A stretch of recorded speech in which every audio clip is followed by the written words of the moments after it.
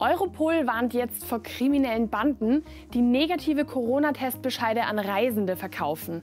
Und Sängerin Adeles neuestes Album könnte einen ganz anderen Stil haben als die bisherigen. Und ich verrate euch jetzt bei Push am Vormittag, warum. Achtung BetrügerInnen unterwegs. Europol warnt Reisende jetzt vor kriminellen Banden, die an Flughäfen und auch im Internet gefälschte Corona-Testbescheinigungen anbieten. Mehrere Verdächtige wurden schon festgenommen. Sie hatten Reisenden in Spanien, Frankreich, Großbritannien und auch den Niederlanden gefälschte negative Tests ausgestellt, wie die Europäische Polizeibehörde am Montag mitteilte. Wegen der weit verbreiteten technologischen Möglichkeiten können diese Fälschungen in hoher Qualität erstellt werden und sind somit schwer zu identifizieren.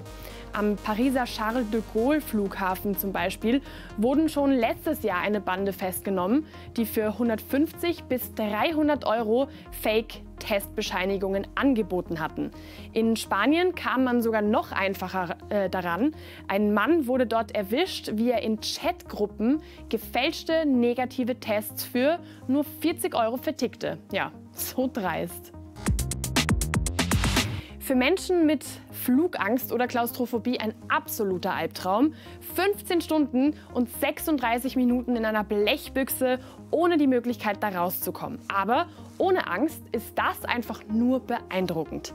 Die deutsche Fluglinie Lufthansa hat jetzt nämlich den längsten Nonstop-Passagierflug in der Geschichte ihres Unternehmens vollbracht.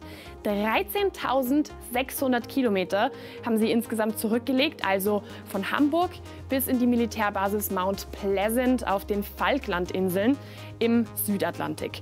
Die Crew und auch die 92 Passagiere, die mussten vor dem Abflug für zwei Wochen in Quarantäne. Die Passagiere sind ForscherInnen des Bremerhavener Alfred Wegener Instituts und auch die neue Crew des Forschungseisbrechers Polarstern. Die werden in den kommenden zwei Wochen im antarktischen Weddellmeer herumfahren, um Langzeitdaten für Klimavorhersagen zu sammeln. Ja, und was die Lufthansa-Crew angeht, die fliegen schon morgen, also am Mittwoch, wieder zurück nach Deutschland, diesmal nach München. Und an Bord ist dann das abgelöste Team des Schiffes. Ihr letztes Album kam vor über fünf Jahren heraus. Die Fans, die warten schon voller Spannung auf neue Lieder. Sängerin Adele arbeitet schon fleißig an ihrem neuen Album. Die ersten Songs sind wohl auch schon fertig, aber natürlich noch strengstens geheim. Aber ihre gewohnten Herzschmerz-Trennungslieder, die könnten diesmal wohl tatsächlich ausbleiben. Laut dem Scheidungsvertrag mit ihrem Ex-Mann Simon Konecki darf sie nämlich nicht über ihre Beziehung oder die Trennung singen. Besonders um den gemeinsamen Sohn zu schützen, hat sich Adele quasi als Zeichen des Respekts mit Konecki darauf geeinigt. Jetzt sind ihre Fans natürlich noch gespannter, was da jetzt auf sie zukommt. Joe Markler ist ein Star im englischen Rugby und wohl auch bei seiner Familie. Für den fünften Geburtstag seiner kleinen Tochter hat er sich jetzt nämlich voll in Schale geworfen und sich als die Schöne von Die Schöne und das Biest verkleidet. Auf Instagram postet er das Bild mit den Worten, ich fand mich süß, vielleicht lösche ich es aber auch wieder. Ja, hoffentlich nicht. Das Outfit, das steht ihm nämlich sehr gut. So, bis gleich bei einem ganz neuen Update von Push hier bei Krone TV.